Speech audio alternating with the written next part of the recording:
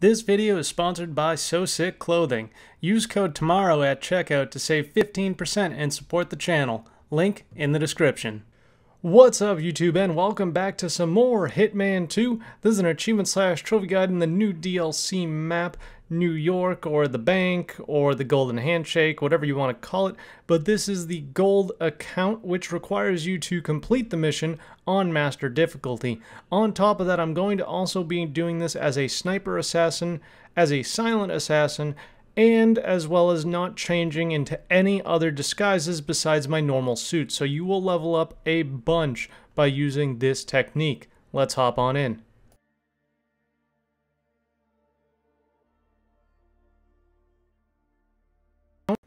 So obviously we're going to want to load up the golden handshake and then in our loadout for our planning phase we want to make sure to bring a briefcase with us and a silent sniper. Don't bring a pistol or any kind of concealed weapon and make sure that you have a lockpick with you as well just in case. So from the beginning here we're going to want to make our way downstairs towards the vault and we actually can't get through without being frisked, so that's why we're not going to bring any kind of concealed weapon. And in order to get our sniper rifle through the frisk zone, what we're going to do is we're going to come down here and we're going to throw our briefcase. This will cause one of the guards to come over here and check it out, and then they'll bring it to a safe room that's located past the frisk area, which we can actually access a little bit later on. So now come down here, get frisked, and then just wait in order to get through to the next area.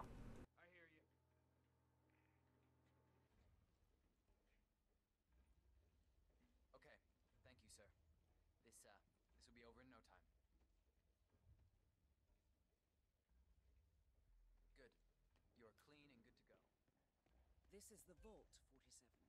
The data core should be behind that large steel door.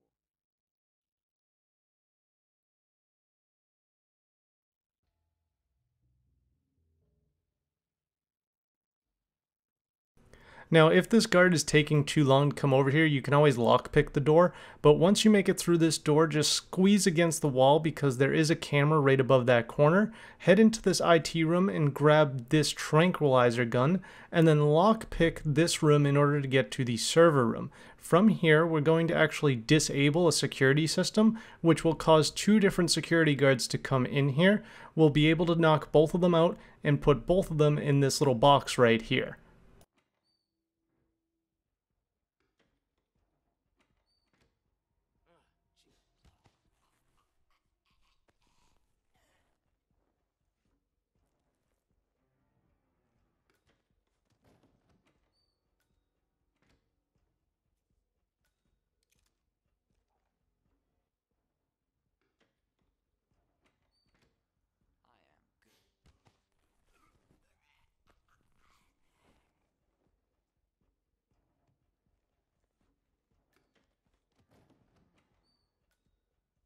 With those two guards incapacitated, we're going to go right ahead and turn the security system back on so nobody else comes down here to check out what's going on.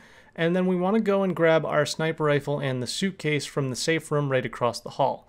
Watch out for the camera and make sure you have enough time to lockpick the door before the camera comes back and then just go ahead and grab your sniper out of the briefcase and take the briefcase with us. Don't worry about carrying it on your back. Nobody is going to notice you through this area.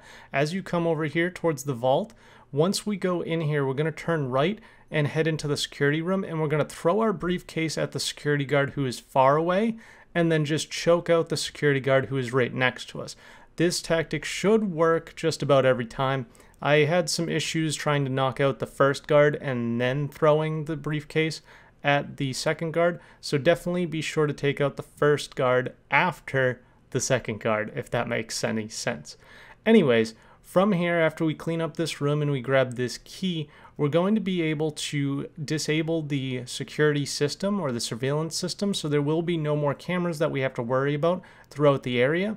And then with the key that we picked up off the ground, we'll actually be able to open this lockbox to the left, which will give us the master key, which will then unlock the vault. So go ahead and head on to the vault, and I'll see you in there.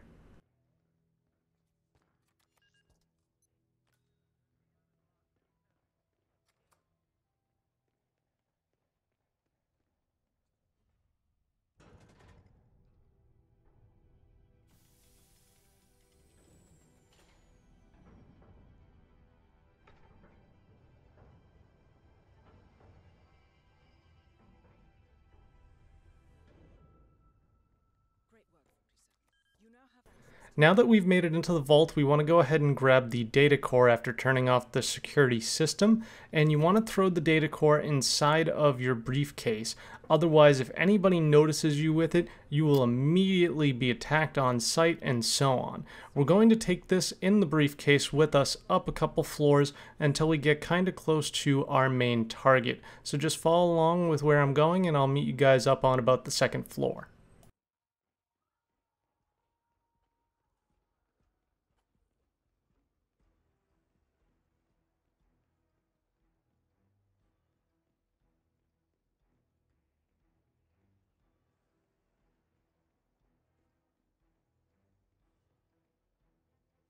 Now that we're up here, go ahead and drop your briefcase right there, and then you're going to want to fidget with this radio so that you turn it off and then turn it back on or on and off, whatever.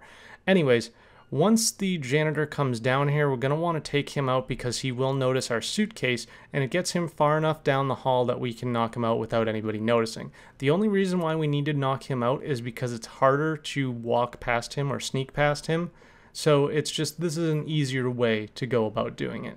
So after knocking him out, go ahead and grab your briefcase and then follow along with the path.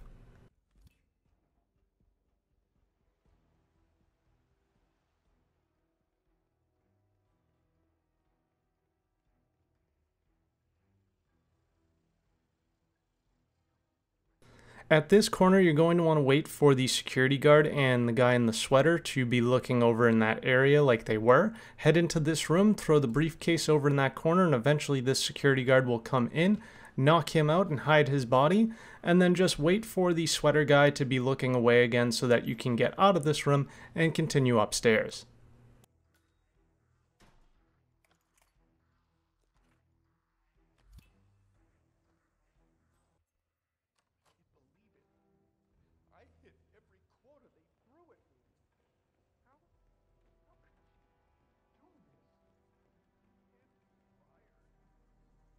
Once up here, we're going to have to head to the right over into this room, and we want to make sure that these two guys do not notice us too much. There will be a little bit of ooh and ah as they are interested in you, but you won't stick around long enough for them to become too suspicious and want to chase after you.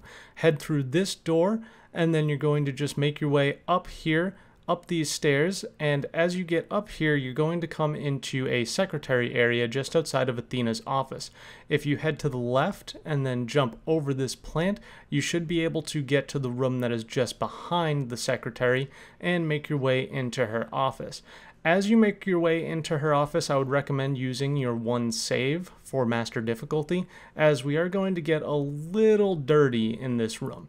As we head in here, we're going to have to wait for her to finish a conversation on the phone, and then eventually she will leave the room. With our tranquilizer gun, we only have two bullets. We're going to knock out these two guards who stay in the room, and we need to be quick about this so that after knocking out the first one, the second one doesn't turn around and notice. So after knocking them out, you should be able to drag both of their bodies and hide both of their bodies and also pick up their guns and anything else that they drop.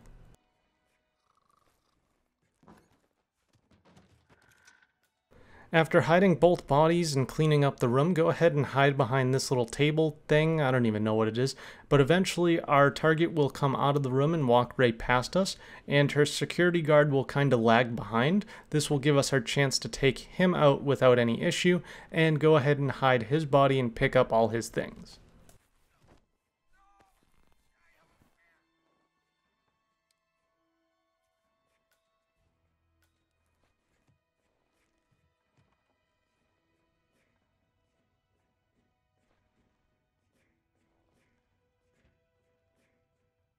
After hiding his body, it's time to snipe our target. I decided to go over to the opposite side of the room where we started so that I didn't accidentally shoot her through the glass or anything like that. And I shot her right at her desk, and that is our sniper kill. It's not exactly fantastic or anything like that, but it does count as a sniper kill. And before leaving, I almost forgot. You want to go back over to her, and she will have a CEO key and it's kind of hidden under her desk because of how I killed her, so it's going to take me a moment here to get it, but eventually I will get it, and what this allows us to do is go into the room that she was in earlier, and pick up a key which will let us get to a special exit that is just downstairs so we don't have to run all the way back through the bank and go through all the different security guards and everything else. So if you pick up this key card right here, you'll be able to take a new exit which is just outside of her office. So head back, grab your data core, and make your way towards the exit.